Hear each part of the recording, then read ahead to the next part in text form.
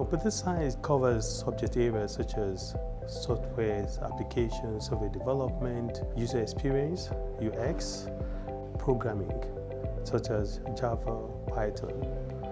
And towards the final year, you'll be studying things like machine learning and likewise data science.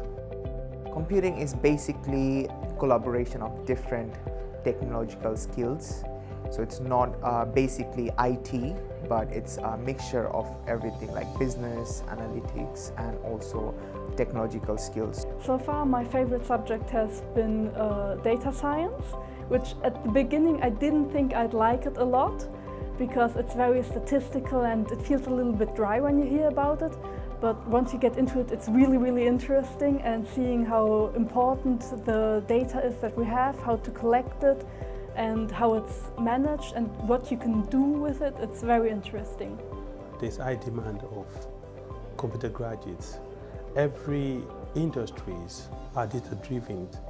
They can work in roles such as software uh, developer, software engineers, data analysts, machine learning and AI engineers, and lots more. It prepares me for the real industry and uh, everything that we are learning is actually for preparing us for our actual real world career.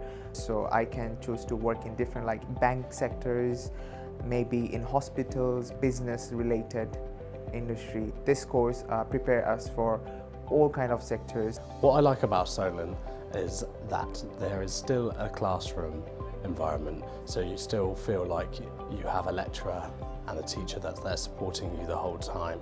And I also like the online aspect as well, so you've always got that connectivity with your lecturer too. I really like the city of Southampton because of the lovely parks and the atmosphere in the city is great and the people tend to be very, very friendly most important thing that really attracted me when I chose Solent was that diversity and you can see different people of different colors and you can know a lot from them and the culture, everything.